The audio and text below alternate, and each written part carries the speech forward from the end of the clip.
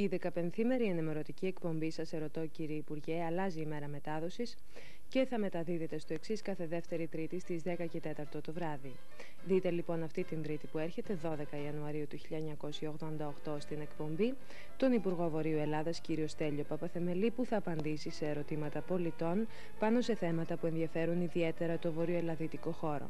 Η μετάδοση της εκπομπής θα γίνει σε ζωντανή μετάδοση από το Υπουργείο Βορείου Ελλάδας στη Θεσσαλονίκη την Τρίτη 12 Ιανουαρίου στις 10 και 4 το βράδυ.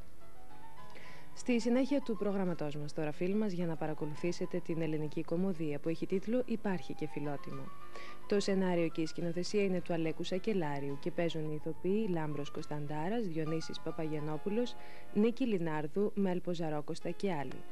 Στις 12 θα μεταδοθούν οι τελευταίες ειδήσεις της ημέρας και θα κλείσουμε το πρόγραμμά μας στις 2 περίπου με την προβολή του Αμερικανικού Western που έχει τίτλο Ο άνθρωπος που αγαπούσε την Cat Dancing από τον κινηματογράφο μετά τα μεσάνυχτα.